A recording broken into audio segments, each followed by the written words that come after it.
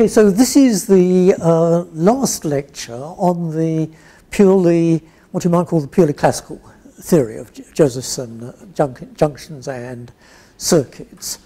Um, by that I mean essentially the theory and the associated experiments which were developed in, roughly speaking, the first 20 years of the subject following Josephson's original work, when the primary interest um, of uh, Josephson circuits was in metrology and various other practical applications which didn't explicitly involve any uh, macroscopic quantum effects. So, so I'm going to finish off this discussion in this lecture and then in the next lecture uh, go on, start talking about uh, what is uh, presumably of most interest, both in the quantum information context and the tests of foundations of quantum mechanics, that is the explicitly quantum mechanical behavior of Josephson junctions and circuits. So imagine first we have a simple um, current biased junction. Uh, moreover, we'll assume that it's of the uh, simplest type, uh, say the tunnel oxide barrier, which was discussed by Josephson originally, so that the uh, current phase relation is given by this simple form here. If we assume for the moment the only source of current is the bulk leads, which are ideal leads, and the only destination of the current is, is as supercurrent through the junction, then we have the following uh, results. Uh, first of all, according to Josephson's first equation, the uh, current is related to the phase by this standard relation here. And moreover, the rate of change of the phase is given by the second Josephson relation, which involves the difference of chemical potential across the junction, which for all intents and purposes we can usually take as the voltage applied. Uh, there might be, uh, it might, might, be a few interesting uh, cases in which, for example, you get differences in chemical potential due to say, thermal imbalances and so forth, but uh, we'll not consider those for the moment. So with these two simple um, original Josephson relations, uh, we find the following results. First of all, if we uh, current bias the, uh, the junction, which uh, we can do presumably by putting on sufficiently high impedance leads, then uh, the, if the voltage across the junction is uh, zero and the current is constant, uh, equal to some value I, uh, then delta phi of t is, is a constant, sine to the minus 1 I over IC. Now clearly that's only going to make sense provided that the external bias current I is less than the critical current of the junction. Uh, when that uh, condition is violated, then clearly something else has to happen, and we'll investigate that in a moment. Second, Uh, uh, well, uh, it wasn't obvious to John Bardeen. number and phase are conjugate variables, right? Normal, well, normal, uh, normal current originates from the number of. So because of this duality, would say maybe because of the phase, it should be a current as well. Well, right. Um, when you say the number and phase are conjugate variables, it took people about 20 years to get to that realization, I think, following, or to, to, explain, to, to formulate it in quite explicit terms. I appreciate that. uh, well, I, I, mean, in hindsight, I guess uh, many things are obvious, but uh, as I say, it certainly, um, Josephson work was not immediately accepted. As I, uh, mentioned, uh, John Bardeen originally didn't believe it and needed to be convinced. And, uh, um, and in fact, it took uh, um, some time for, for there to be a definitive experimental realization of the, uh, the effect. Um, it's usually uh, the ex experimental realization is usually credited to Anderson and Rowell, but in fact, um, as often happens in this kind of case, once the, uh, the, uh, the uh, as it were, the theoretical respectability of the effect had been uh, established, um, a number of experimental groups went back and looked at some of their old data and concluded they probably had actually seen the Josephson effect without realizing it at the time.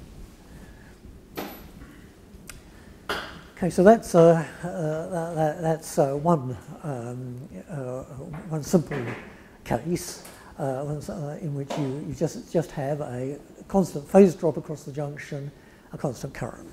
That's the, the DC Josephson effect. If, on the other hand, we bias the junction in, in, such a way that the voltage across it is is constant and not equal to zero, then we, uh, according to this, this result here, delta phi of t is going to uh, rotate uh, will be 2 EV over h bar, 2 EVT over h bar. Uh, the, the current will uh, oscillate. That's the AC Josephson effect.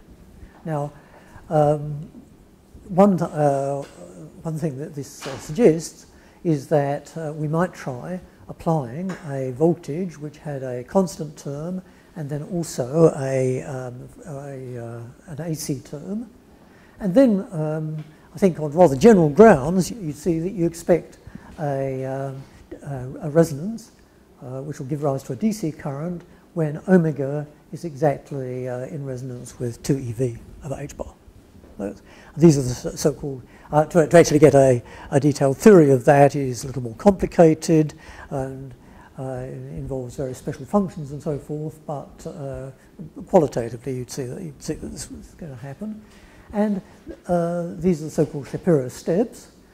Uh, this so-called Josephson frequency voltage relation is of course very, very useful in establishing voltage standards and so forth. You can, uh, uh, as you know, we can nowadays measure frequency to maybe one part in 10 to the 18 so uh, this, uh, in principle, enables us to measure voltage to the same degree of accuracy. And therefore, there's been quite a bit of discussion in the literature about whether uh, this, uh, this really is absolutely exact, and if not, what the corrections to it are. Um, and I think the, the, the, general conclusion has been that, I, I mean, you, provided you define the voltage um, carefully, and it's not, entirely clear, you know, um, at this level of accuracy how you, uh, how you would define it. But if you do, then at least there are no, um, uh, no, no, corrections within, say, the framework of ordinary um, non-relativistic electrodynamics. Um, okay, now this is clearly a little too, too simple. Um, in real life, the junction uh, is likely to be shunted by both a resistance and a capacitance. Um, in other words, you can uh, think of your, your, your, circuit more generally uh, in this way. This is nowadays, when denoting Josephson circuits, this cross is the standard symbol for the Josephson junction itself. So, um, in parallel with that, you're likely to have some kind of, of um, resistance and also a capacitance because remember that we're talking um, typically about some kind of tunnel oxide barrier. Um, it, will be rather thin, of the order of 10 to 30 uh, angstroms, and uh, uh, have rather large transverse dimensions, and so it does, in effect, form a rather efficient capacitor. So um, if, you, uh, if you simply apply Kirchhoff's laws, to the current and figure that the current which actually flows through as supercurrent flows, uh, flows through the junction is given by the Josephson relation, then uh, we uh, can actually um, uh, derive this uh, equation for the rate of change of phase junction. And so that, that simply follows from Kirchhoff's laws plus the two Josephson equations here. And uh, that turns out, it, it turns out that apart from the dissipative term, uh, that uh, can be obtained from a uh, Lagrangian which has uh, this form here. You have the, uh, this is the capacitance uh, energy. this is the um, energy of locking phase across the Josephson junction. And then you have um, this extra term here, which represents the effect of the input current. Um, and uh, when we put these together, we and, and, plot out this expression as a function of delta phi, this expression, which is, uh, for obvious reasons, is uh, usually known as the washboard potential. Now, there is one rather tricky point um, about this, this washboard potential. Uh, it looks from this diagram here as if this uh, minimum here is definitely different from this minimum here. They appear to have definite, uh, different energies. Is that really true? Um, that's actually a, a, rather tricky point. Very luckily, we don't have to decide this right now at the semi-classical level. But just to, uh, to say a word about that, let's uh, make an explicit um, analog, uh, an analogy with, with a pendulum in a gravitational field with some applied torque. The analogy is that delta phi uh, is now, uh, is now, now corresponds to the angle the pendulum makes with the vertical, it's down here. Uh, the locking energy, uh, which remember is, is, cos delta phi, that's simply the energy in the gravitational field. MG, uh, sorry, this should be MGL, I'm sorry, that's uh, omission here. It should be MGL cos um, 1 minus cos theta, or cos theta, something of the kind. Um, this is the, uh, um, the um, uh, capacitance. Uh, and again, I'm sorry, I, I seem to have um, left out a number of things here. This should be ml squared theta dot. Uh, well, okay, sorry. The coefficient here is just goes over to this, but the actual um, term, sorry, there should be the dot missing here. Uh, this should be the, uh, the, the velocity, the rate of change of delta phi here. And similarly here, you get ml squared theta dot squared. But the important point, uh, the one I want to draw your attention to, is that the analog of the external current in the washboard potential is the, the uh, torque uh, driving the pendulum. Now, um, that, raises, that, raises, the question, uh, if the pendulum rotates through 2 pi, do I actually come back to the same state as I, as I started with, or should I count it as a different state? And that's actually been quite a bone of contention, in, at least implicitly in the literature over, uh, over the last uh, few decades. I'll come back to that later. Uh, notice, incidentally, uh, one uh, obvious point about the washboard potential.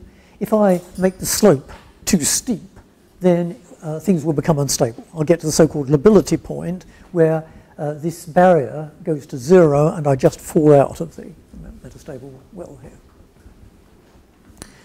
Um, however, uh, from this, uh, yes. Sorry? You think, you think we'll not come back to the same point? Well, uh, because you're mapping del phi to theta. Uh, yeah, right. And theta is the, I mean, 2 pi. Well, okay, so we're a pendulum. Okay, no, okay, so if I have a pendulum. Um, these are wave functions. So. Well, uh, hang on, we, we are not right, no, you see, luckily right now we're not at the, um, the, the, quantum mechanical level. That is, we're regarding the um, delta phi in the case of the Josephson junction and theta in the case of the pendulum as classical variables. So, um, however, we are going to want to eventually go on and, and, uh, and make a quantum mechanical description. So that does raise the uh, question, when the pendulum has rotated through 2 pi, should I count the, its state as identical to its original state or not. Hmm? I think in, in, the case of pendulum, yes, but not in the case of uh, Josephson junction because of the quantum mechanics involved. Oh, well, um, okay, you mean because, um, uh, because uh, as distinct from the case of the pendulum, delta phi is already implicitly a quantum mechanical variable, you mean? Ah, uh, yes. Um, uh, well, um, let, us just remind ourselves what delta phi means. It's the uh, it's the relative phase of. Now you see, look, if I've got uh, okay, well, perhaps we're, we're um, getting a little ahead of what I, I intended, but let, us do it nevertheless, since, uh, since you raised the question. Um, suppose I've got a particle in uh, which can commute between two boxes, and um, This is just a simple Schrodinger problem. I've got this particle here which um, can commute between two boxes through some kind of narrow um, link, say, here. And I write a wave function, psi, a psi right, right, and plus b psi left. And now, uh, and now the uh, let, us write, write uh, a and b in terms of amplitude and phase. Uh, let, us make their amplitude the same. Say um, a um, e to the minus um, i phi over two um, psi r um, plus um, e to the plus i phi over 2 psi left. Now, so phi, phi is now the phase difference of the wave function in two boxes. Now, now if, if phi goes through 2 pi, do I come back to myself or not?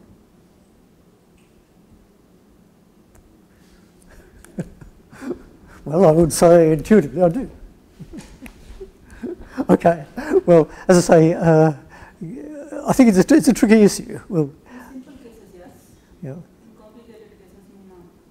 Well, I, I, I think the, in the case of the, uh, maybe I should just, uh, uh, just anticipate what I was intending to say later, but um, on, on this point.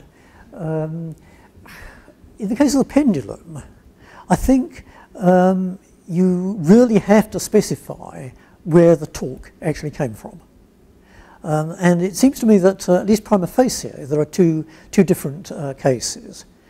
One is that you've actually wrapped um, a uh, wrapped a string around the um, uh, the the the, uh, the, the, axis, the, the, spindle of the pendulum, and uh, and hung a, hung a weight um, from it. Okay. Now, in that case, when the pendulum rotates, the the um, the weight will fall. So, fairly, I think intuitively, that's that says it's a, you've come back to a different different situation. On the other hand, it seems to me um, not at all obvious that you couldn't uh, manufacture your torque in a different way. Suppose that the, the, um, uh, the, the bob of the pendulum is charged and we imp uh, uh, uh impose a magnetic vector uh, potential. Then that will in fact exert a, a, a, torque on the bob and now uh, the bob can ro rotate right around to the extent that I de define my vector potential um, classically, nothing has changed. And I know that um, in quantum mechanics, since, uh, well, electromagnetism deals with bosons, I can always formulate semi-classical coherent states where essentially I can treat the, uh, the uh, electromagnetic fields and potentials as, as classical quantities. In other words, I can, as it were, in some sense absorb a photon from my electromagnetic field without changing the state or not changing it by any, any substantial amount. Okay? Uh, and if that were not the case, then all the simple textbook calculations of the behavior of atoms in electromagnetic fields wouldn't work, of course. So, so you have to be able to do that. So, so now coming back to the case of the, um, of the, the, the uh, uh, externally driven current, um, what, which is that, that more like? Um, again, you see, you have to worry. I think you probably, if you re really answer that question, you have to worry about where that current is coming from. That is, is it, for example, coming from um, very, very large capacitors which are themselves superconducting, or the, are these capacitors normal? If they're superconducting, at least, then I think you can make an analog, uh, the analogy with the the electrically driven pendulum. That is, uh, I think you can probably legitimately conclude you've come back to the same state. If they're normal, it's more tricky.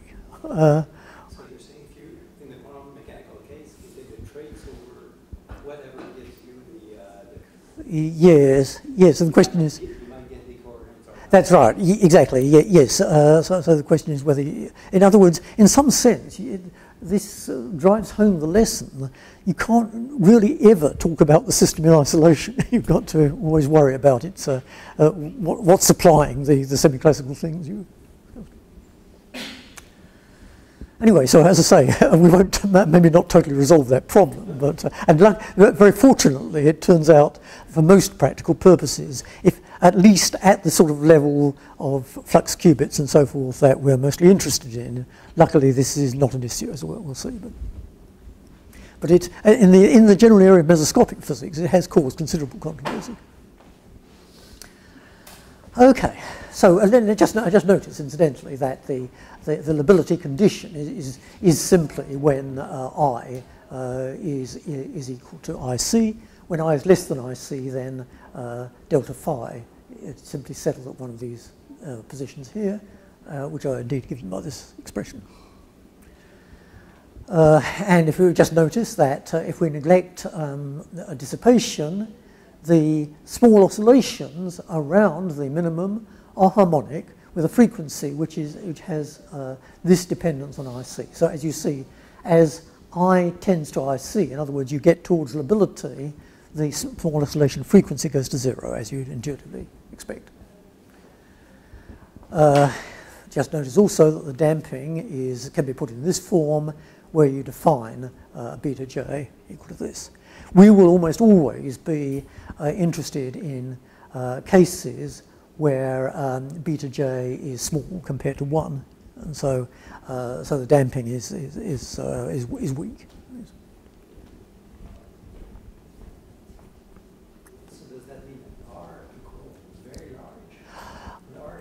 Um, yeah, yeah, that, that's right. Um, Sorry?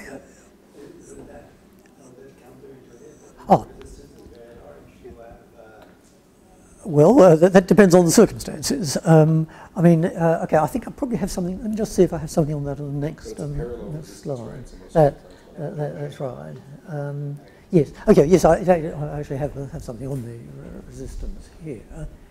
Um, okay, uh, so let's, uh, uh, uh let's go to the resistance for a moment.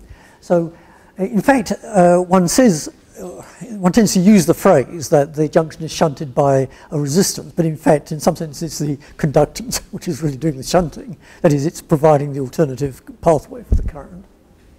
And so the um, so uh, when t is of the order of tc, say uh, 0.5 tc or something, then, in fact, the, this resistance, this shunting, shunting conductance is mostly due to excited quasiparticles, the standard Giaever mechanism. And, uh, uh, and then, uh, in order of magnitude, it'll be of the order of the normal state uh, resistance. Now, T much less than Tc, which is generally speaking the conditions we're going to be interested in, then uh, this effect does go away exponentially. And, and here's an amusing fact. Um, some of you might have heard this, uh, comment, this comment before, but um, let's ask the following question. Um, th this was an important issue in the, in the early days of macroscopic quantum tunneling and so forth, when people were saying that oh, there are going to be all these decoherence and damping mechanisms which are going to totally screw up the idea of using uh, flux qubits as, as qubits. Um, and one of the most, uh, and you said, okay, so what are the uh, sources of resistance? Well, the most obvious one is precisely the normal quasiparticles. Okay, so now let's just um, ask the following question. Uh, suppose I take a one centimeter cube block of niobium, uh, transition temperature around 10, 10K, and I take it down to say 10 millik, which is something is not, not by any means that difficult uh, these days. Okay. Now ask the question, not what, not what is the fraction of normal uh, quasiparticles or normal electrons, but what is the number? What's the absolute number of normal electrons? Anyone want to guess? Too high. Too high. 10 to the minus dot dot dot, basically. Well, okay, no, but you, I, I mean, you have a point there because if this block were completely isolated, of course, then uh, we couldn't guarantee that it actually has an even number of total, uh, even total number of electrons. If it had an odd total number, you're right, there would be one normal electron there. And you, you really have to take that seriously. Uh, as I, I think I remarked earlier, nature can count up to 10 to the 23 modulo 2. And, and so the behavior of a reasonably macroscopic grain with an even number of, of electrons on it is different from that with an odd number, provided you've sufficiently isolated and so forth.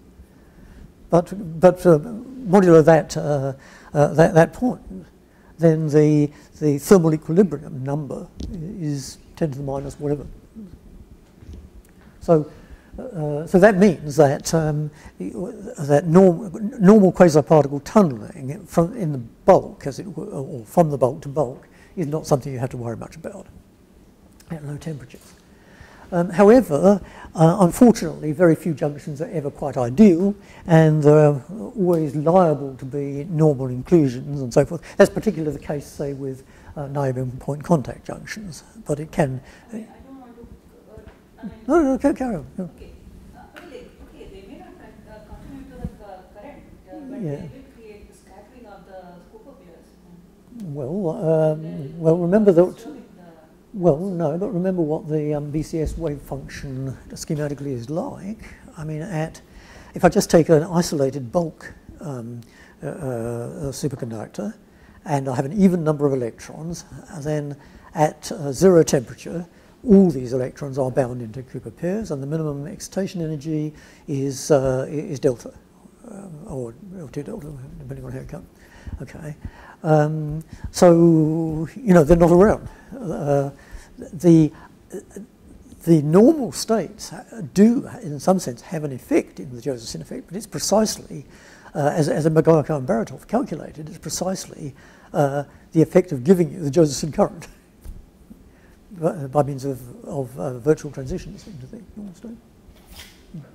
Comment on this. uh, Actually, these days there is not very active research on superconducting qubits from non-equilibrium quasi-particles. Uh-huh, So uh-huh. some that are generated not by temperature but by injection, so yes, yes indeed. But but that's setting a limit to the times. It's a high limit, but it's still. Well, yes, but I mean, wouldn't you have to do that as it were on purpose? Um, that is, if I if I deliberately inject uh, quasi-particles in some non-equilibrium way, um, for, for example, by putting on a, uh, a, we, uh, a rather rather um, weak uh, Giaever junction, then, then then obviously I can can uh, can produce them. But are you saying they occur naturally? Well, like for example, infrared radiation. Oh, And even other mechanisms that people are not sure about. yeah. Well, it's technical. It's very technical origin, but yes. Well, okay. Yes, good, good. being figured out at the moment. Uh-huh, uh-huh. Um, but I'm, I'm still um, okay. I'm a little. Um, yeah, I'm just wondering what what uh, what conditions you're thinking of here, because um, normally I think if one were trying to operate a um, a, a qubit, say, under um, for, for in, for example, in, in the context of uh, experiments on uh, uh, quantum information and so forth, I imagine, wouldn't you um, normally try to keep it in a cryogenic environment, I would think? Yeah, Um, no, no, but that, that's what I'm talking about. Yeah. They- mm, They're, they're there. mm, Resonators, people also measure Okay. Oh, and I'd like to perhaps hear more about that. You know, certainly discuss that. Yeah. I'm not familiar with the phrase normal inclusions. What do you mean by normal inclusions? Oh, well, for example, if, if I've got a, a um, niobium point um, contact, um, I've, I've simply, but basically I've taken some kind of pencil-like tip and pr- Yeah. pressed it against the, uh, the bulk, then uh, I can't be sure uh, necessarily that, uh, well, uh, for example, there may be um, oxide contamination. Interface. Uh, sorry? Interface, you're interface matters. Yes, yeah. Yeah, that's right.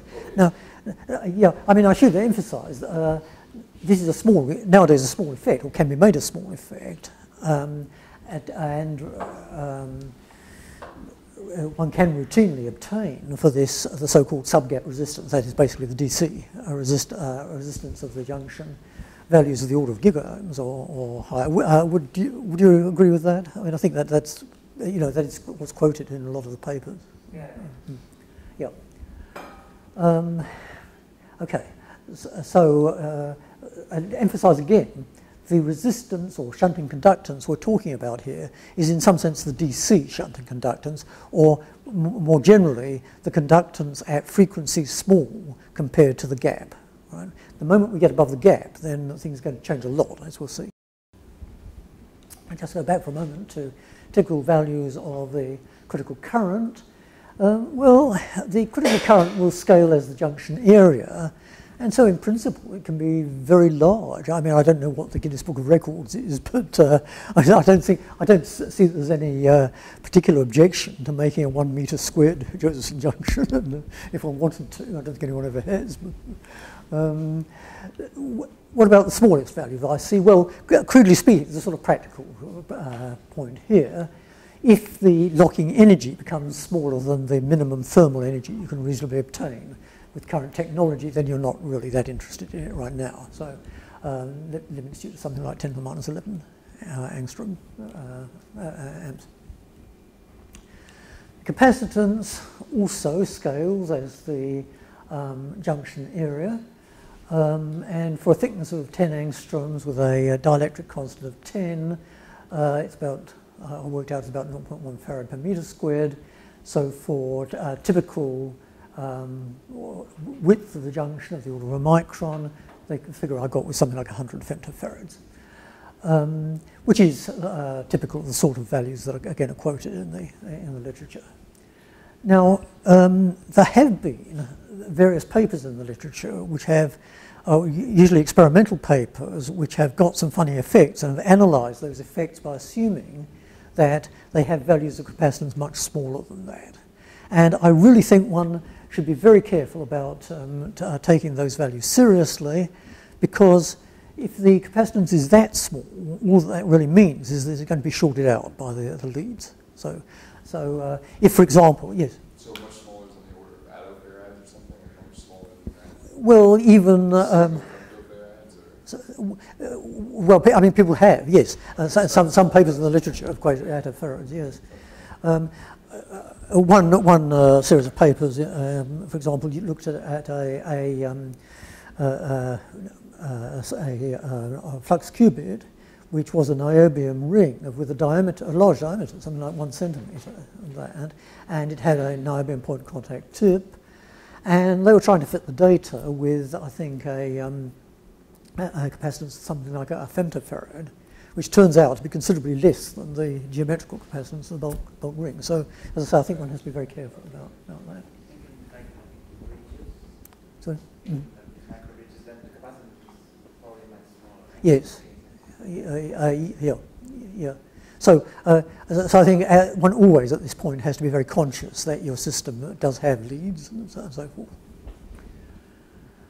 Um, Okay. Uh, one thing I'm always going to implicitly assume in the um, uh, and uh, the rest of the analysis in this and also the, um, the, the quantum mechanical part of the course is that the quantity h bar omega j um, is uh, small compared to the uh, the bulk gaps delta. Okay, if that's not the case, we we get, get a number of complications that we don't have to deal with. Okay. Um, any other questions, comments at this point? Okay. Then let's go on to the classical dynamics in the washboard uh, potential. Um, now, when I is less than the critical current, are, although there's only one equilibrium state, there are two steady states for the following reason.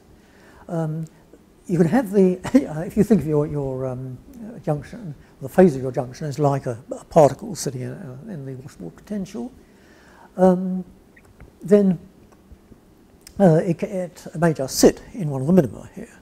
Now, uh, and of course, then, then the, the value of the phase will be given by the, the standard Josephson expression here. Since the voltage is proportional to the rate of change of phase, then it must be zero here. So we, uh, so in other words, we have a zero voltage state. If we measure the voltage um, across the, the junction in that state, it will be zero.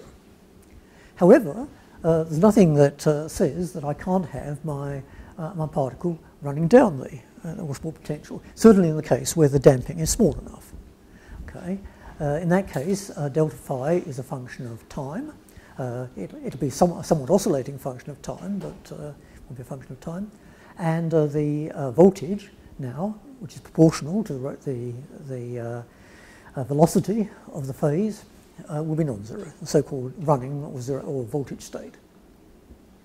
Now, in the, uh, we have to be careful about the, um, uh, how we describe the, the junction in the uh, voltage state because um, the conductance is likely to be strongly frequency uh, dependent, and in particular, it's likely to have a, a steep increase due to Giaever tunneling when the uh, frequency becomes comparable to 2 delta over h bar. Alternatively, if you like, the, the voltage um, becomes comparable to, uh, to delta over E, 2 delta over E.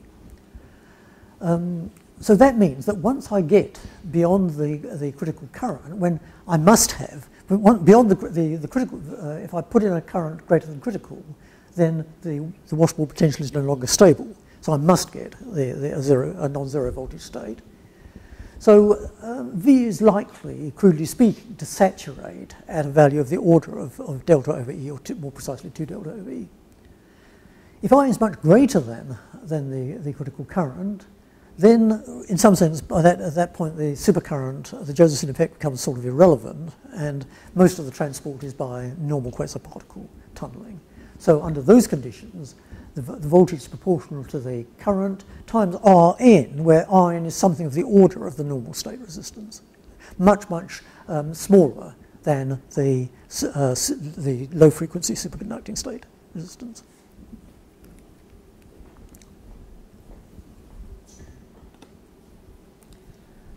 Okay, so if we plot the, uh, this is rather crude, but if we plot the um, outward IV characteristic, if we start from zero current and zero voltage here, you see, we can increase the current um, up to the critical current without going into the, the finite voltage state. Uh, so the voltage will, will remain zero. When we get to the critical current, the washboard potential becomes unstable. We start running down there. And uh, crudely speaking, we will accelerate down that uh, potential until uh, we get to a, volta uh, a, voltage, which remember is the rate of change of the phase, which is the, uh, roughly 2 delta. And uh, at, at, that, so at that point, we'll st start to develop a large resistance. The behavior will um, maybe be complicated here, but eventually when we get to high enough, actually this, this curve should probably more, uh, go, uh, go through more or less through the origin here, um, we, we basically get, a, get normal state, a normal behavior here. Um, so that's what happens on the outward, um, on the, the outward um, branch of the IV characteristic. Now what happens if we start to reduce the, the, the, the bias current again? Well, now you see what we're doing is we're starting off with a washboard potential which is unstable, um, has no, no metastable minima. Now we're gradually tilting it back up, to, and at some point we'll get back past the, uh, uh, the uh, uh critical current, and uh, we'll find that, that, that, it looks like this. But remember that, that if the damping is small, the particle will still be running down at this point. So as we um, it'll certainly be running down when we're beyond the critical current, but as we tilt it back past the lability point, it'll still be running down, admittedly more slowly, so forth.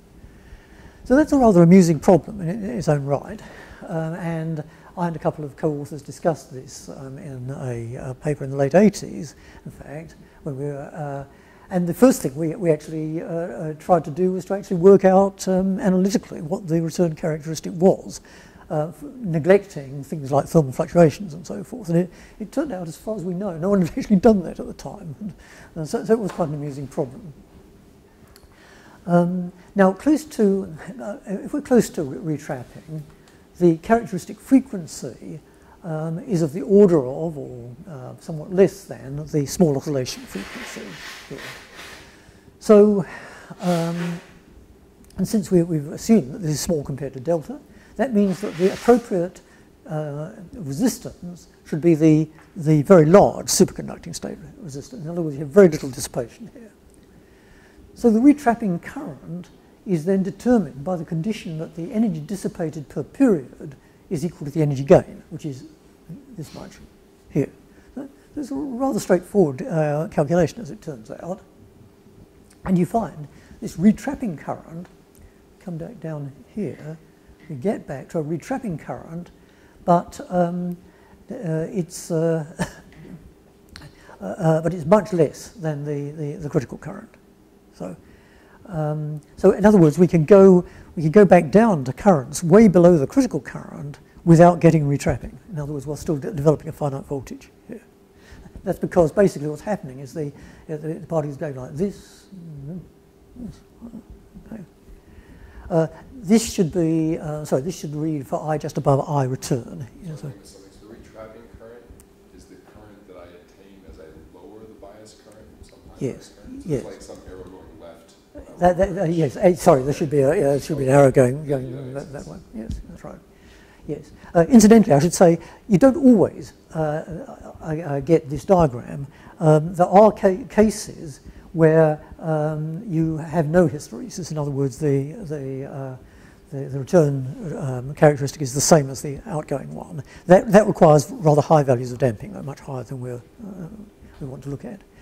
So just, if you just correct this, this should be for I just above I retrapping, not, not, not IC. You get this analytic uh, result, which is roughly represented here. Sorry? Oh yeah, uh, sure, yes. Um, the, uh, the calculation we did in, um, uh, in this, this, old paper was uh, zero temperature, but yes, you, you would expect it to be. Um, and, and in fact, uh, because the, because the uh, conductance, the shunting conductance will increase strongly as a function of temperature, you would uh, expect that as temperature increases, the retrapping current gets much closer to the, the, the critical current.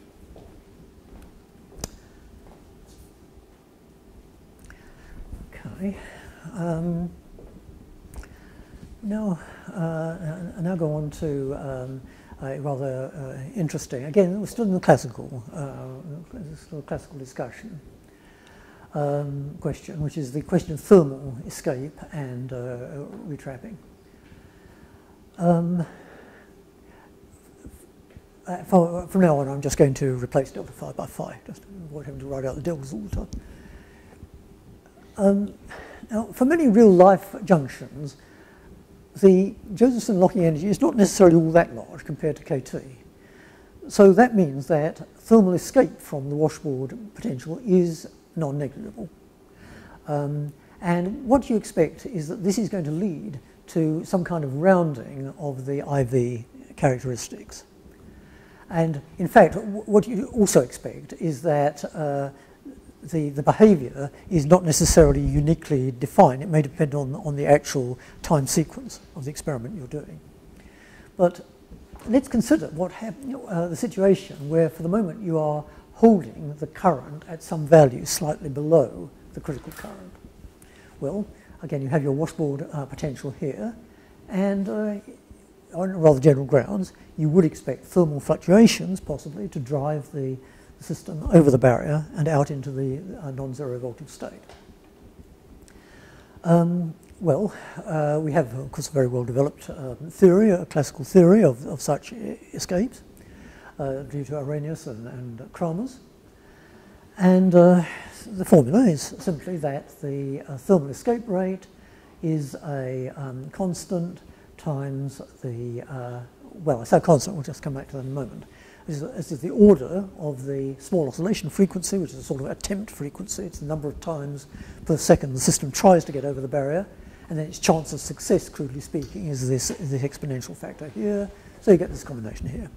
And uh, it turns out the, there's an interesting point about the, uh, the classical um, theory. Um, as you might possibly um, anticipate, uh, if you have very strong damping, the prefactor is strongly uh, suppressed. So that, uh, uh, so, so, that in fact for, for um, uh, uh, strong enough damping, you get something like omega j squared over gamma, where gamma is the, the damping rate. What's also interesting, however, is that in the opposite limit, the, the, the thermal activation is also, also suppressed. That is, if the, if the damping is very weak, then the uh, uh, the uh, thermal escape rate is going to be suppressed. The prefactor is going to go to zero. how do you understand that? Well, th that's actually a, rather simple consideration there. Um, in order to uh, get kicked over the, the, barrier, the system has got to uh, be able to receive an energy of the order of the, the barrier height uh, from its environment. But if the, uh, if the contact with the environment is extremely weak, which is the case of extremely weak damping, then it'll be very, very difficult to get that. And there's a beautiful calculation in the original Kramers paper in 1940 of, of that, uh, uh, uh, of that limit, uh, phenomenon in that limit.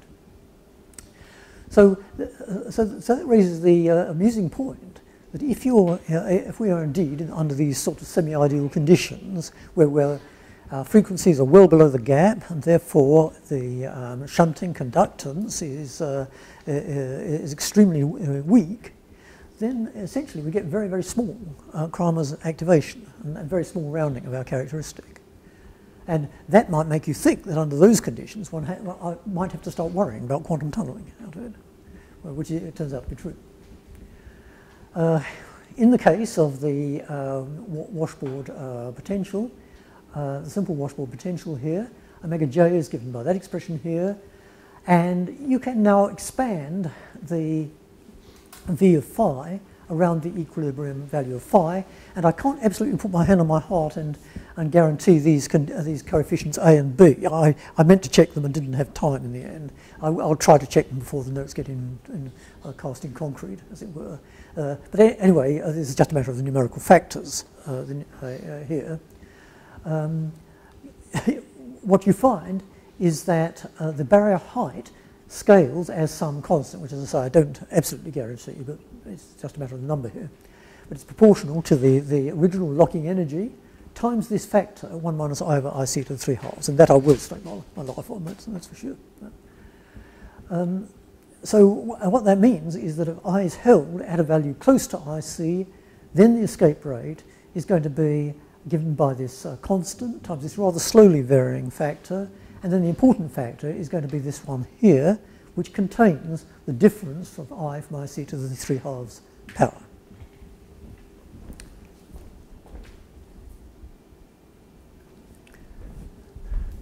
And, and I just comment that uh, in, in, the extreme limit, where I is very close to IC and V0 becomes of the order of the thermal energy or less, you probably shouldn't take these formulae seriously. Remember that the, the Arrhenius-Kramers formula is only supposed to be valid when V0 is large compared to uh, KT. Now, um, the typical way in which you um, uh, might do an experiment is probably not, uh, for various reason, uh, experimental reasons, you probably don't want to simply sit at a particular value of the current and watch until it, uh, it tunnels out until you develop the zero voltage state. What you'd rather do is to ramp up the current from zero or from some, some small value towards the critical current and then plot the distribution of points uh, of values of the current at which you get the transition to the, the non-zero voltage state. It's usually fairly easy to, uh, uh, to detect the onset of, of the, the uh, non-zero voltage state. So, um, so technically what you expect is that if y is simply the current in terms of the critical current, um, then the probability of tunneling out at a particular value of y is given by an expression of this type, where you have the integral from 0 to y, gamma y dy here. That's uh, something you can derive relatively straightforwardly. And if um, dy by dt, uh, which we call the sweep, rate, the sweep frequency, omega s, if that's constant, which is usually the case. You usually have a sort of linear uh, current bias. Then the expression has a maximum at the value of, of, y for which this condition is fulfilled with a, a, a certain spread around that value. And one thing you can immediately say from the formulae we uh, got, out is that provided you neglect the weak dependence on the prefactor, then the uh, probability of tunneling at a current I is simply a function of the scale variable here. That's, crudely speaking, that's because if you neglect the, the variation of the prefactor, the only relevant thing is the exponent, and we just go back for a moment, uh, exponent of the Arrhenius-Kramers um, formula, and um, that is just this quantity, apart from constants, that's just this quantity divided by kt. So, so that gives very useful. Uh, sorry, the thickness of the junction. Uh, well, indirectly, I mean implicitly, it will enter through the quantity Ej, the locking energy. So, um, uh, uh, uh, so this gives you the very um, interesting uh, result that both the position of the peak relative to the, the critical current and the width of the peak scale as t to the two-thirds power. Um, and so, uh, so, so, the way the experimentalists often show their data is to um, show uh, the P of I, probability of tunneling out at a given value of I, um, for different temperatures. And so if I'm at a fairly high temperature, I'll get a curve which uh, looks something like that. Uh, so so uh, because KT is large, tunneling can take place even when I'm quite far from I sub C and the barrier is still quite high. And then as I go closer, uh, go down in temperature, these, these um, uh, uh, peaks get higher, and they should actually, I should have uh, perhaps drawn this a bit more explicitly, they should also narrow, because I want the area under the curve to be just one. Um, and uh, you know, this by now has been, uh, been um, a whole uh, dozens of experiments which have verified this, this general behavior. Um, the question of the thermal retrapping of the return current is, is a little more tricky. And um, well, we, actually, we actually worked it out theoretically in our paper way back in the late 80s. And as far as I know, no one has really ever quite systematically got down to, uh, to check that. I think it would be nice if they, if they did, because the, uh, the uh, dependence is, is actually quite different for the return current than the, the trapping current. Um, but as I say, very little experimental input to my knowledge. Um, there have been some experiments by my colleague Alexei Bezryadin um, at the University of Illinois on nanowires, which uh, are somewhat similar to this, but they're, they're, the formula is more complicated because these are, are strongly, I mean, they're hysteretic in the sense that you can develop lots of winding of your phase before things slip. So, so the analysis is more complicated. Okay, any questions or, or comments? So these, uh, these distributions will be affected by mesoscopic fluctuations. Uh, excuse me? Yes. uh, will be affected by mesoscopic fluctuations. Well, uh, in principle, yes, but now think um, what kind of fluctuations are you thinking of here? Do you, do you mean simply uh, irreproducibility of the sample? Oh, that's, that's for sure, yes. I mean, no two, presumably no two uh, real-life Josephson junctions are ever going to be exactly identical. So one, uh, one indeed is usually doing this on a, on a, a single sample. No, but although no two samples will show the same kind of characteristics, but same kind of behavior, there will still be some universality. Oh yeah, uh, sure. Yes, uh, and in fact, this uh, you see, this is a rather strong uh, form of universality, which But this universality will change in case of nano junctions. Um, well, I mean, it depends, uh, as it were, in what respect the, uh, these junctions don't conform to the simple I don't know model. The details, but the only thing I'm guessing because so far you have been talking classically, I mean, like, and then once Yeah. Oh. regime, like it will be. Oh. Well, sure. Okay. Uh, uh, well, I mean, one thing we're certainly going to find is that this behaviour does not persist down to arbitrarily low temperature because, indeed, um, quantum mechanical effects come in. Yep. Mm. Yeah. Okay. Any um, questions, comments? Before I go on to a slightly different topic now.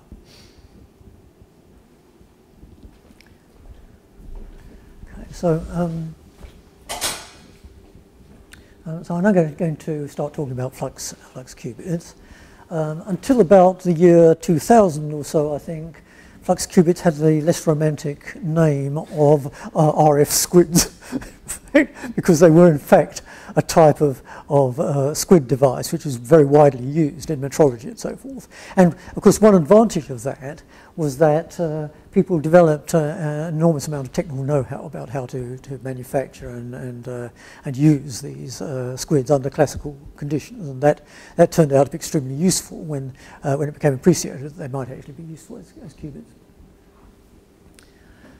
Um, so what we're going to do now is to take a Josephson junction, and so far we really haven't worried very much about the nature of the leads. I haven't really um, had to specify whether we're, uh, most of the time whether we're dealing with normal or superconducting leads, but now let's specify that we are indeed interested in the case of superconducting. Sorry?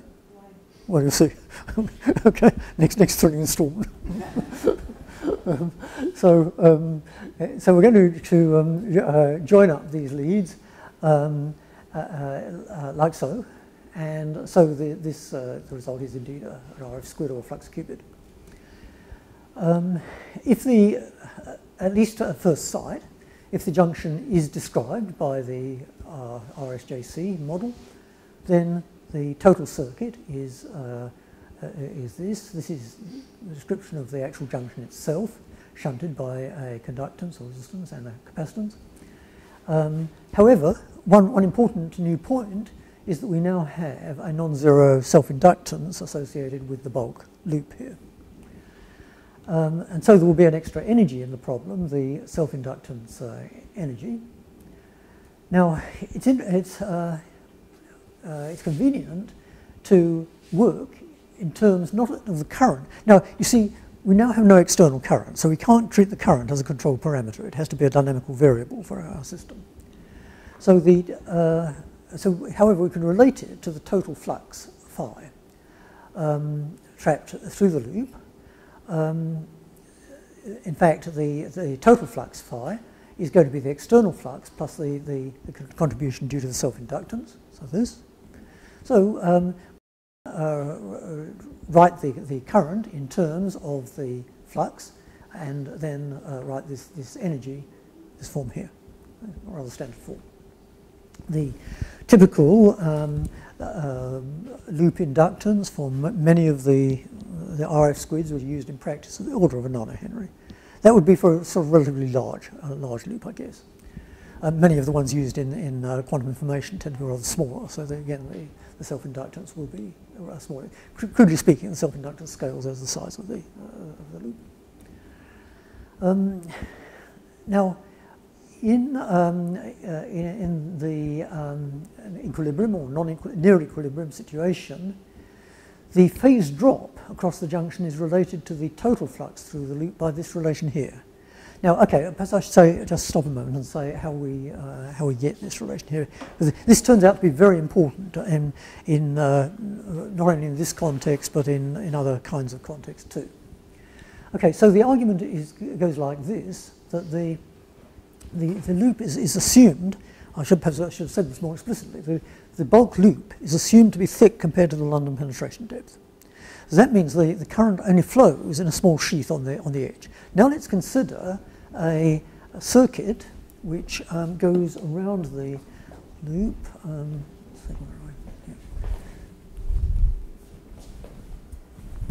so here's our loop. And here's, here's the junction here. We're going to consider a circuit which goes around from. You say a circuit, you mean a path? I, say, yeah, a path. Yeah, so you're, you're right. Yeah, yeah. path. Say uh, so. It goes once around the uh, uh, loop. Um, and now, since this path is supposed to be deep into the metal compared to the London penetration depth, we know from general considerations that at least at DC or low frequencies, um, everything is screened out there. No, no current will flow on that path. There's no, uh, no magnetic field. Um, and that will be true. When I say low frequencies, what does that mean? Uh, crudely speaking, the relevant frequency is going to be the plasma frequency, which is way up there at something like um, uh, 10 to the 16 inverse seconds. So, uh, so for all, all the frequencies we're interested in, we can say that there's no, no current, no electric field, and no magnetic field. However, uh, nothing to stop you having a vector potential. And in fact, you have to, you, you may have to um, have a vector potential if, for example, you've imposed um, some kind of flux through the middle here. Um, even if you've imposed it under Aharonov-Bohm conditions, that still means that the integral of the vector potential around this path maybe non-zero. Okay? Now the current, remember that your current is given by, um, uh, is proportional to gradient of the phase of the pairs minus 2EA over H bar, right? So that means that the total integral of, of, of, the phase gradient going around the loop is given by the integral of this, which turns out to be the flux in units of the flux quantum. So, so um, uh, now, now the So, so going from here round to here, we have delta phi uh, is equal to phi, uh, so, sorry, uh, I guess two, the factor of 2 pi coming in there, 2 phi uh, divided by the flux quantum. Uh, however, the, flux, the phase does have to be a single valued um, variable. And remember, remember, we're talking about junctions which don't have any kind of, of uh, intrinsic hysteretic properties. Here. So, um, so, so the phase does, does have to be uniquely defined.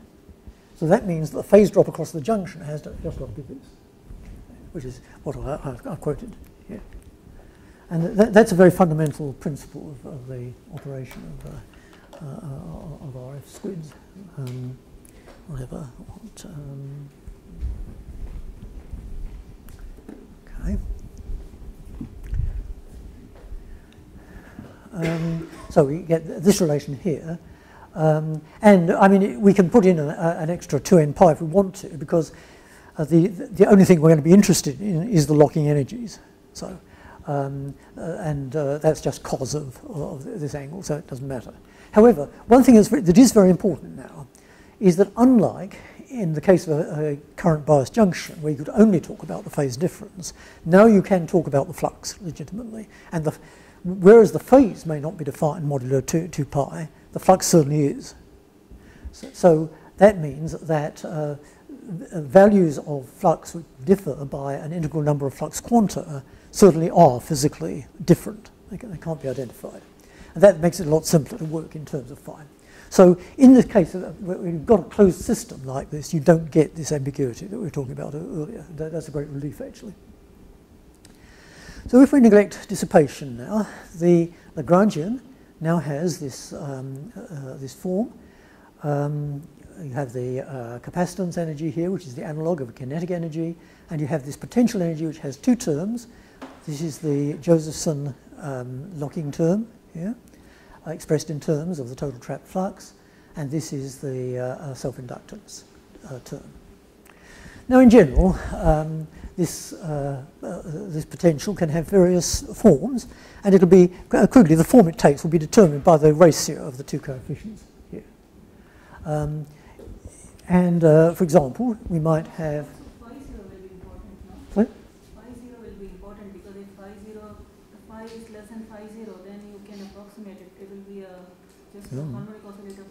Sure. Yes. Yes. Mm, yeah.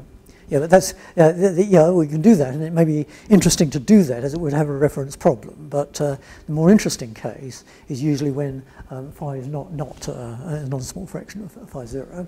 And one possibility, for example, which is actually the one which is most used in the in the actual operation of DC squids as mag magnetometers, sorry, RF squids as magnetometers, is very similar to the washboard potential, except that it goes up again. So if you, you, just stare at that expression, you'll see that roughly that's what, that's what happens. And again, uh, so you tend to operate the thing at a rather rather high point here. You're making assumptions about the scale of the coefficients. Yes, yes, yes, indeed, yes, yes. Um, the case we're most likely to be interested in in the context of quantum information um, is when phi is actually quite close to half a flux quantum, and the this dimensionless parameter beta L. Beta L is, cru crudely speaking, the parameter which determines whether or not you get metastable minima in this potential. And if that's larger than 1 and you're close to phi 0, then the potential has a sort of double well structure.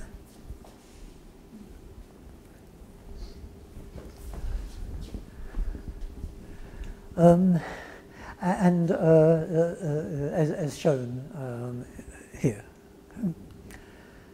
most of the results for the flux qubit can be read off from the results for a current bias junction by this replacement that the you simply replace the phase by uh, 2 pi times the um, flux in units of phi, phi 0 and the, uh, you replace the current uh, by uh, this quantity here. But now remembering that whereas the in the current bias junction problem, I of t was something control you controlled, like, uh, now it's a, uh, the phi is a dynamical variable.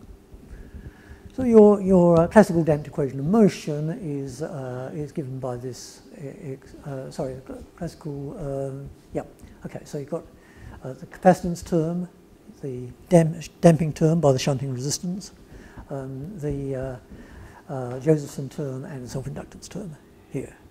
And this is then the classical equation of motion of your uh, RF squid flux qubit. Okay, any questions for him? Like if you replace this flux line by uh, uniform magnetic field, put a junction there, will the, all this will be valid? Well, okay. Um, uh, so, uh, I mean, I've, I've rather tended to implicitly assume here we're going to apply the flux under Aharonov-Bohm conditions, but you need not, as you say. You could just have a, a constant magnetic field.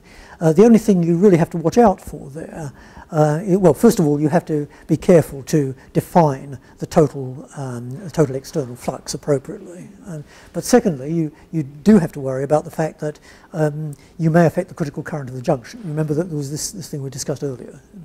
Sorry. You may have mentioned this, but in the case of a, a RF squid, you use a magnetometer. Mm -hmm. How can I tell the difference between no flux penetrating the RF squid or an integer multiple of flux quantum? Oh. Does that make sense? Uh, indeed, um, yes. Uh, well, um, okay, that's a, that's a, good question. I should probably really refer it to an experimental colleague, but uh, um, but I think that. Uh, uh, no, I mean, certainly people uh, people definitely do it. yeah, yeah. Mm. Yeah, I, mean, if you, uh, presumably in a given geometry, you can, let's say, use nuclear magnetic resonance to measure the field at some distance from the, the squid. And then knowing the geometry, you can then convert that into okay. total flux. So another squid. yeah. yeah. Yeah, yeah, as we'll see, um, sort of squids feed on squids in this game.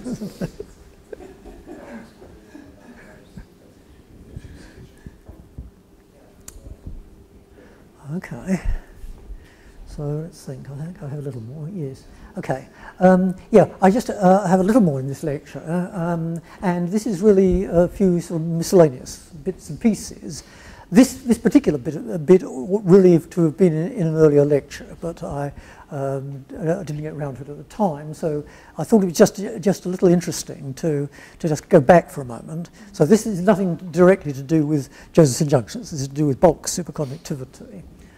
Um, what we've usually um, we usually implicitly assume that we have a very large, when talking about bulk superconductors, we have a very large volume and so forth.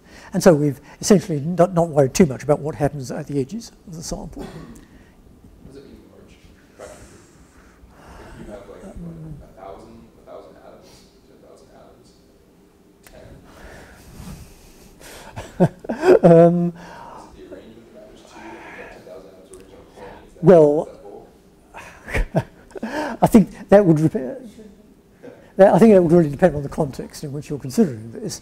Um, if, for example, you're worried about the thermodynamics, say, um, I would think that in practice something like a thousand atoms would probably be adequate. If you're interested in uh, let us say, well, if you're interested in, say, the penetration of a magnetic field, then clearly it's important whether it's large or small compared to the London penetration depth, and we've usually assumed it's large. Um, but the point, point I wanted to explicitly comment on here was a surprising theoretical conclusion, which seems, as far as we can tell, to be consistent with experiment, um, that um, you might at first sight think that superconductivity uh, would tend to be suppressed when, you have, when your superconductor has a boundary with vacuum and less suppressed when it has a boundary with a normal metal. And that turns out to be wrong. It's the other way around. Why would you expect that? Oh, well, I mean, just on very, very naive hand-waving grounds that, uh, in some sense, the normal metal is more like the superconductor than vacuum is. Okay. It actually turns out to be the other way around. Um, the proximity to vacuum has very little suppressing expression effect on uh, an ordinary BCS superconductor, whereas, sorry? Suppose if I say like vacuum has both kind of uh, features uh, inbuilt, superconducting as well as normal, and when you well, okay. with a superconductor, like it just attracts the similar. Uh, well, in some sense, maybe that, that is what's happening. Um, yeah, uh, but I think we, ha we have a, a, a, a rather st straightforward way of understanding this intuitively.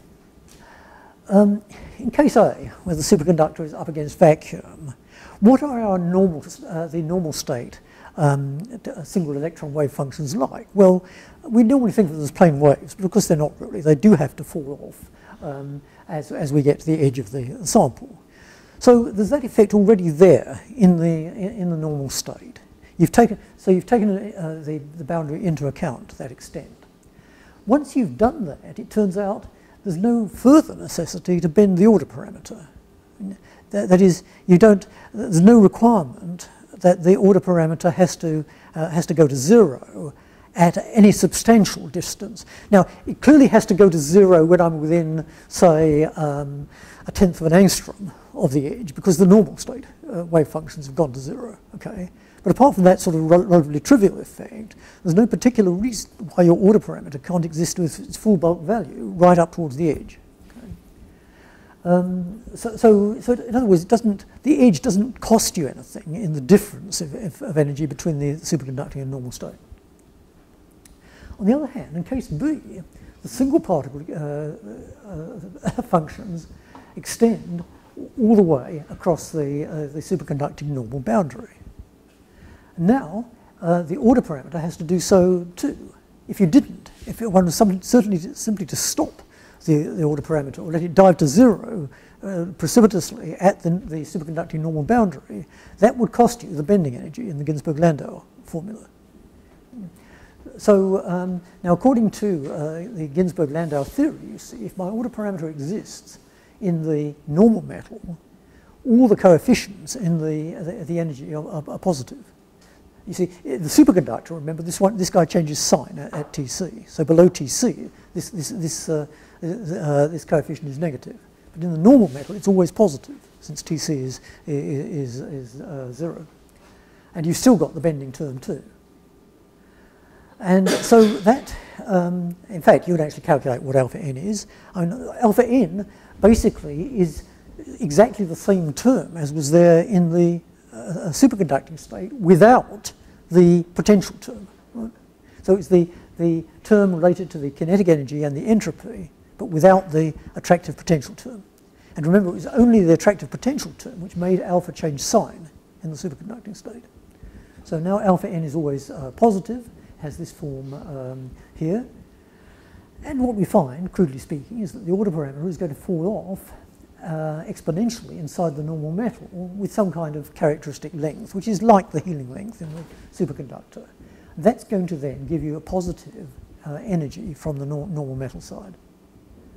So, uh, and as I, I uh, uh, mentioned, if you try to avoid that effect by sharply bending your, your, your um, order parameter at the boundary, that doesn't work because now the normal, the normal state single electron wave functions are extended right across. Is there any effect on normal metal side states into the super? Yeah. Um, well, sure. Um, uh, you, the, the, the, presence of the, the, the, normal metal does affect the, the behavior on the superconducting side. And of course, one, um, one, one, particularly interesting uh, configuration is superconductor, normal superconductor. And then you get a proximity effect coupling across the, um, uh, you get, it, it is really a sort of Josephson situation, rather more complicated than a simple tunnel oxide barrier, but it is effectively a, a Josephson situation there.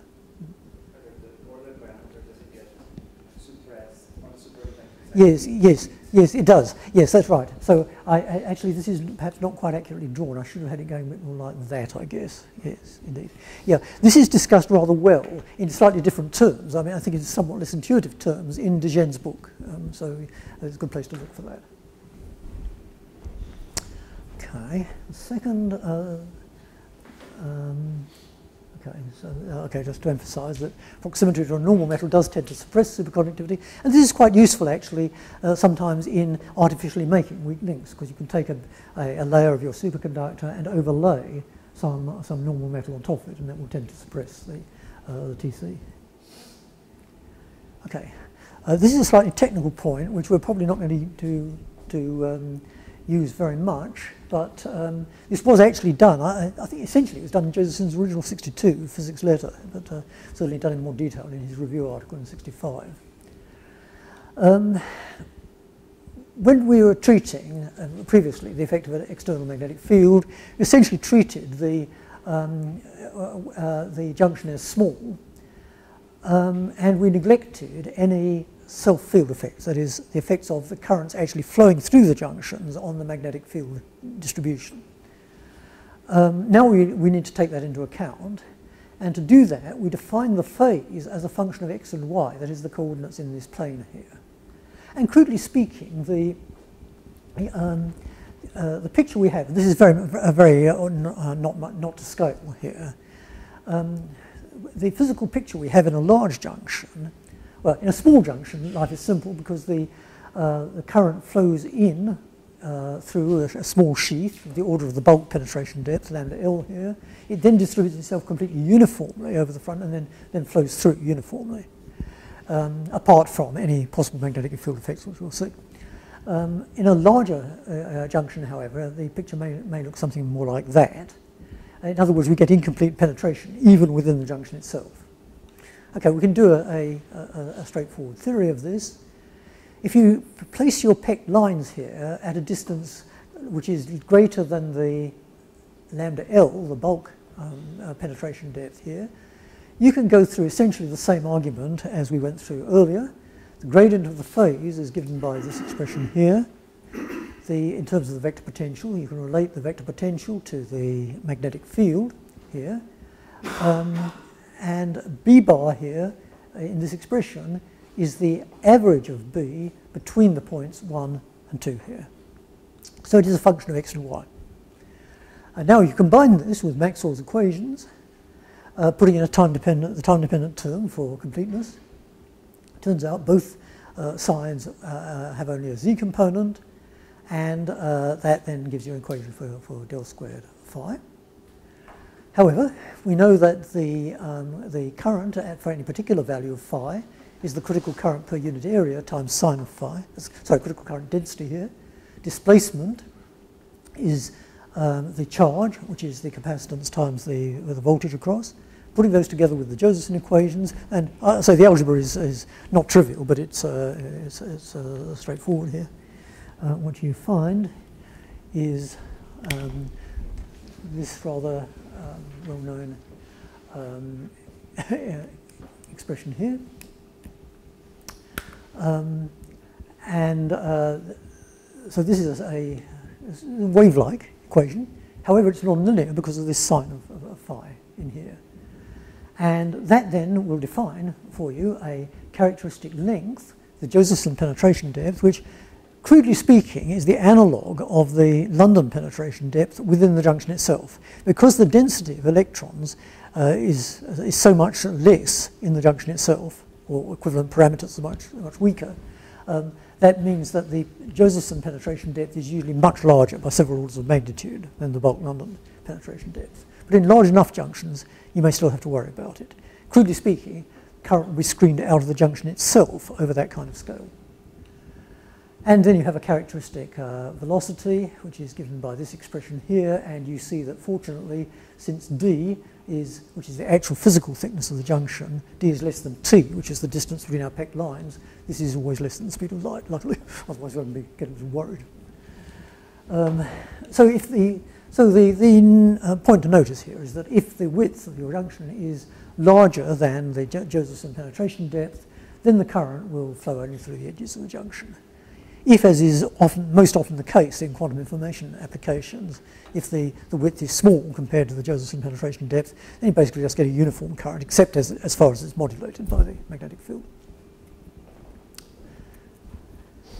Okay, so that, that's, um, I, I, put that in for completeness. I, it's not something I think we're going to have to deal with uh, much in the context of the quantum information applications. Okay, finally, final point.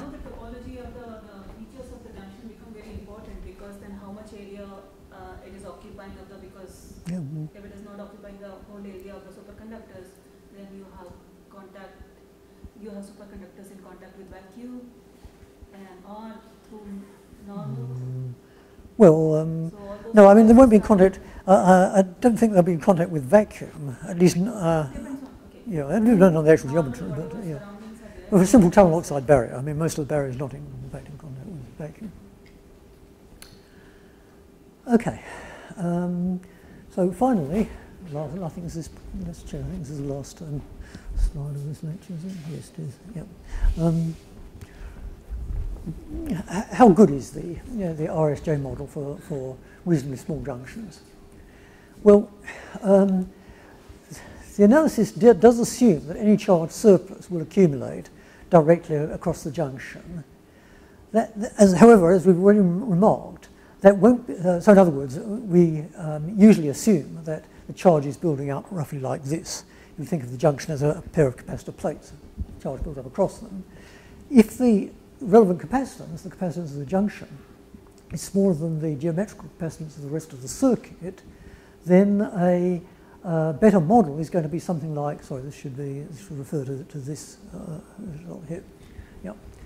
Um, so better, better this one uh, here, um, where uh, basically you've got this large geometrical capacitance, your circuit, and um, that will be um, in, in some sense in series with the uh, capacitance of the junction, and between them there'll be some kind of effective inductance. Uh, yep. So the geometric, the geometric capacitance can be explained by the leads connecting to the junction. Well, well, for example, in a squid ring. Um, squid ring what, it would just be the geometry of the structure. Well, simply the fact that I mean, I've I've got the uh, in some sense I've tried to displace a certain amount of charge across the junction. The question is, where does it settle? does it settle immediately uh, adjacent to the junction, which it would if the capacitance is large enough? Or does it distribute itself further around the, the ring? Okay. Yep. Yeah, we'll actually see that that comes out, um, that feature comes out rather nicely when we do the quantum mechanics, quite surprisingly, it, uh, although it's in some sense a purely classical effect. So your better model is something like, like this more complicated one. Second point is that, um, especially for very clean um, tunnel oxide barrier junctions at low temperatures. Remember there, the intrinsic superconducting resistance is of the order of gigaohms, low frequency resistance is gigaohms. Um, the main mechanism of dissipation may not come from the junction itself, it may well come from the leads. Um, and so in general, it may be advantageous to consider the junction, which is itself a nonlinear circuit element, as simply shunted by an arbitrary linear admittance subject to the constraints imposed by causality, etc. You can always do this. Um, you can always write your classical, you can always write your classical equation of motion as this, where, um, so dv by dq is the nonlinear part of your equation, which is associated explicitly with the junction itself. And then you've got this shunting admittance, which can include, I mean, I've been very generic here, this junction admittance can kinetic energy term, okay, the capa uh, capacitance uh, term here. Um, and it turns out that the, uh, simple relation between the k of omega, which comes in here, and y, it's just, just this. Here, yep. linear admittance is subject to constraints imposed by causality? Oh, um, right.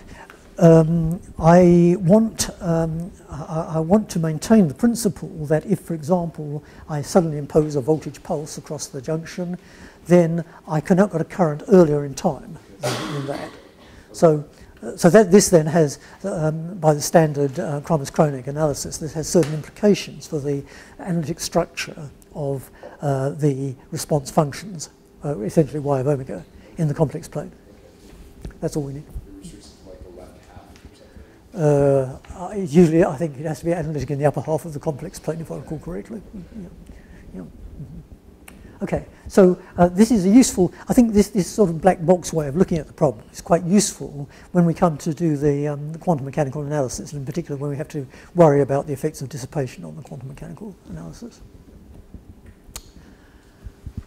Okay, that was what I really wanted to say in this lecture, and that basically concludes the, um, the discussion of um, Josephson junctions and circuits at a purely classical level. And I say this was really the subject um, this was the whole of the subject until sometime around the early 80s, for the first 20 years, in fact. Okay, any general questions, comments, objections? so far you have dealt with uh, clean superconductors, and if you had dirty mm. superconductors. Well, nothing much changes. No. Um, uh, okay, well... Diffusion of Cooper pairs and all that, Sorry? Well, I mean, again, it depends what uh, what phenomena you want to analyse. And clearly, under, for certain purposes, sure, you really have to worry.